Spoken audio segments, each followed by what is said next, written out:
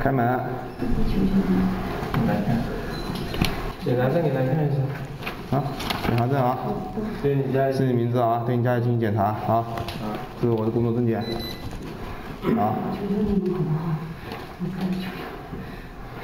我跟你说，我们该走的程序要走的，没有商量的余地的。啊。你当初拿的时候怎么不能不求不求人家呢？画面中，这名求情的女子就是在女装店偷盗衣服的嫌疑人。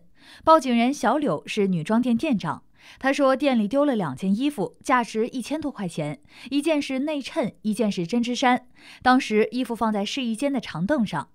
民警之后调出了店里的监控，发现当天中午十二点四十分左右，一名女子背着包走进了店里。她先在衣架边看了一下，接着走向试衣间，往里面看了一眼之后，马上转身拿了一条裙子，然后进去试衣间试穿。试完裙子以后，女子碰到了店长小柳，没买单就直接背着包离开了。民警经过进一步侦查，怀疑这名女子有作案嫌疑。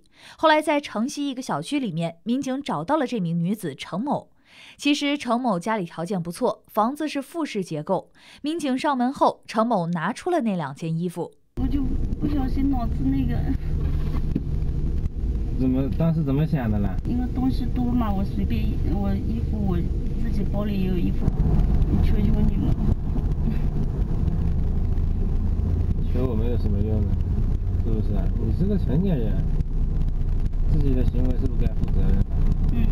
呃，他当时呢也不是是专门去偷盗的，那么也是就是在闲逛的时候呢，就发现了啊，试衣间里面有这么两件东西散落在里面，他给他有一个可乘之机。他试过吗？这两件衣服？这两件衣服呢，呃，据他本人说，他应该是没有试过的，但是呢，他看了款式比较好看。